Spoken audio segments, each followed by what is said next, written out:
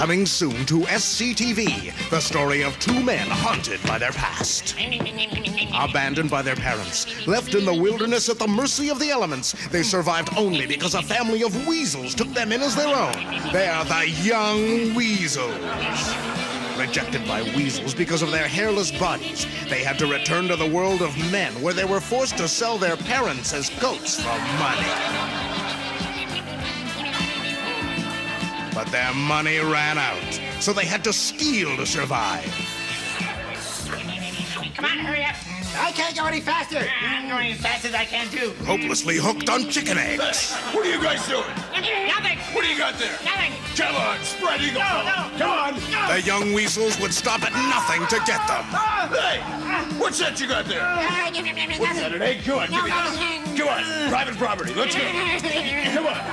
Come on. Though incredibly fast, they were unable to get jobs as typists because they just couldn't stand the fluorescent lights.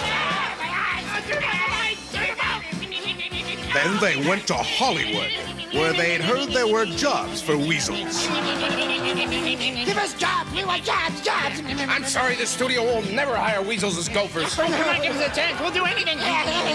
We have no pride. No pride, huh? No. Say, how are you boys at fawning? Oh, Oh, we're the best. No, you're the best. Oh, I like that. See that guest star over there? Don't make him feel important. Oh, weasels. So the young weasels did as they ought her.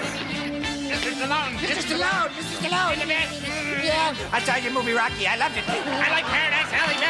From out of the woods into the big time, they became the backbone of the television industry. It's Young Weasels. Thursday night at 9 o'clock on SCTV.